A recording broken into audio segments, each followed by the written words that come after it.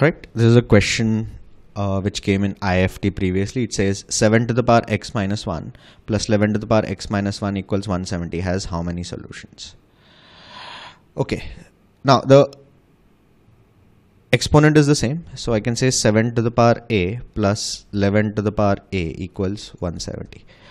Odd number, odd number raised to some power. This gives you 170. Now this is a linear power. So there has to be either one solution or no solution. So these two are out.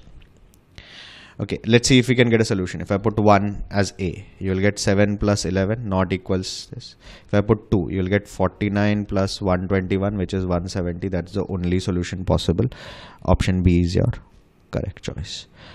Right, so that finishes this question.